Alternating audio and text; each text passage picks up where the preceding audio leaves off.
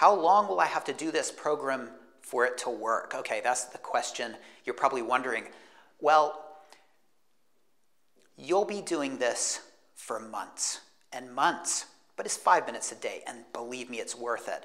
Now, as I've mentioned, I started my younger daughter Sarah at the age of one, and around the age of two, all the way up to three, I really wasn't sure if it was working. I had a feeling I was maybe wasting my time and her time, but I kept with it.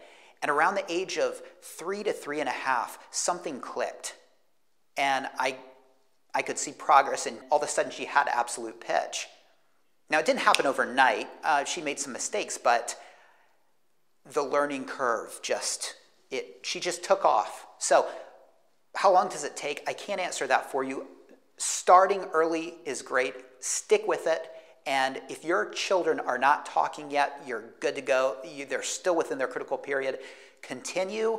And if your children are anything like my child, uh, by the age of three and a half, you will see the fruition of this ability.